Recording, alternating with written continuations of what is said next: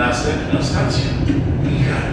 Szanowni Państwo, przypominamy o obowiązku zasłaniania